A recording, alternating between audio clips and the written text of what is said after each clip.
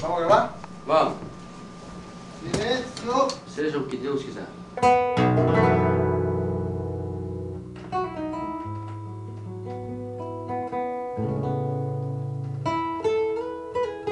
Estão pegando aqui o início de todo um processo. É bem realmente o que, que o, o iniciozinho do que vai virar esse, esse disco ao vivo. Quer dizer, a ideia é captar a onda que rola no palco mesmo.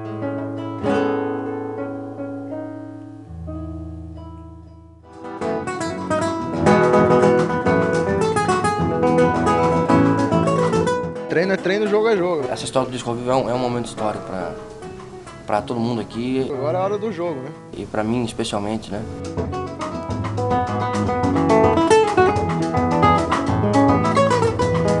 Tudo se decide aqui em cima. Se você aqui em cima fazer o que tem que fazer, o resto é frescura. Tomara que pegue muito da energia que tem no palco, que tem uma energia fora do comum.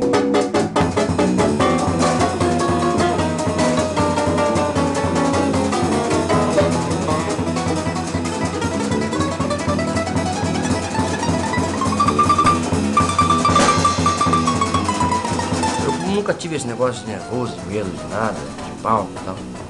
Acho que é a primeira vez na vida que me sinto um pouco ah, até ansioso assim para ver o que, que vai dar. Vão ter músicas minhas, alguma coisa do Baden Powell, é, uma música do Django Reinhardt, que é no Age, uma música do Radamés, algumas músicas solo.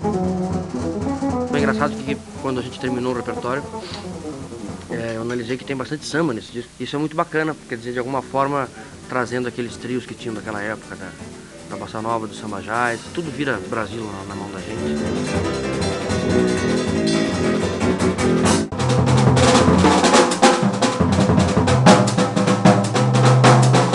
Paulo Edu é um catarinense que tem uma história bastante parecida com a minha. A gente vem de uma família simples de, de músicos de baile, né? E tá há alguns anos aqui já em São Paulo, é, aparecendo aí como um cara meio ímpar, uma figura meio especial. Pelo bom gosto que tem, baterista é uma coisa muito complicada, né? Eu, por exemplo, tenho pavor de baterista. A gente já tinha gravado algumas coisas uma vez em estúdio, sempre acaba suando como um clima de ao vivo. Filho de gênio, né? O pai dele é um músico fora do- da bitola e a mãe é outra também. Também são músicos fora do comum. Gravar ao vivo, é, tem que. O bicho pega, né? Não tem muito pra onde correr, você tem que tocar em função da música e fazer ela acontecer.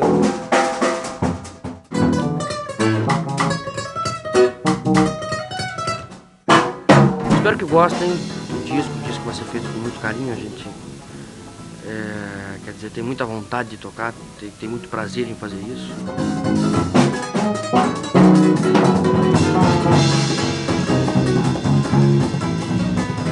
Entendo que é ao vivo, se tiver algum erro, perdoem, mas é isso mesmo, se não errar também não tem muita graça.